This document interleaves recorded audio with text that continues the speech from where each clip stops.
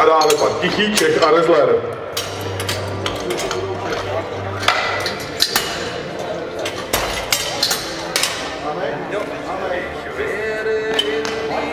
Činka je připravena.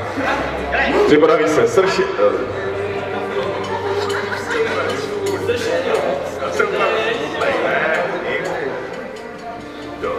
Na činku, na činku nastupuje Michal Sekerák a 150 kg.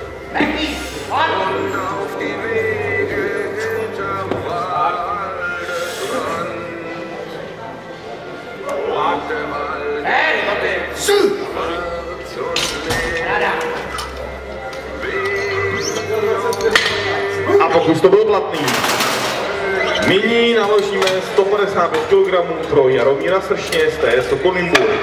Ke svým druhým pokusům se pak připraví Tichý Čech a Rezler.